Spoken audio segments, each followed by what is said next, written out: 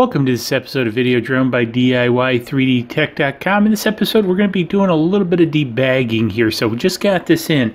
So I ordered this from Amazon, uh, kind of like a new gizmo for the Spark. Just got it in today.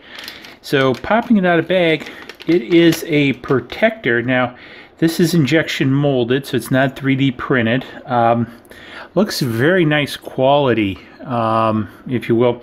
So the front piece here protects the I think it's an infrared sensor and then it also has a gimbal protector down here which I really like. And so uh, comes uh, really with no instructions. It's from uh, FS Labs. It's DJ, DJI Spark something Lee cover E glare guard so uh, let's see how it pops on there's a a little tab here that uh, uh, pops on. Now this looks a little bit interesting. I'm going to have to keep this in mind for potentially some designs of my own. Obviously this was either designed, yep, I will be darned. There's actually a little spot, I've never noticed it, up inside the Spark um, for a clip.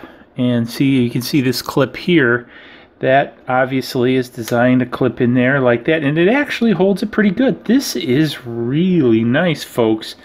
Um, you know because it doesn't have a three axis so so the gimbal moves in this direction in this direction. It doesn't move in this direction. So uh, uh, this really actually does I think do a nice job. And this is really snug. I'm not sure. I think it would be a little bit tough. You might actually have to stick something in there and to pop this back uh, down in this opening.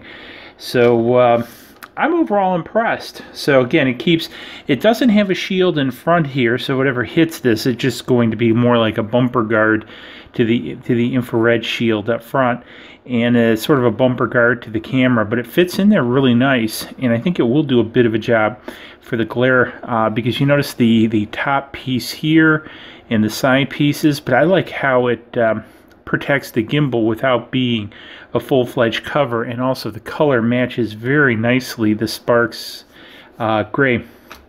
So we're going to have to take it out and fly it and see how it is in an upcoming video. But I wanted to get this out and share with you guys because I thought this was uh, pretty cool. So anyways, hopefully you think this is also cool. And if you do, give it a big thumbs up.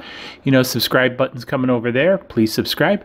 Let me know what you're thinking about for lunch. And uh, hey, if you have this, let me know below. If not, I'll have the link down below. And also, don't forget to check out our Spark accessory page. So I've been doing a lot of work curating a page out on Videodrone, video-drone.diy3d.com. Link will be below, by the way, too, so you don't have to memorize it.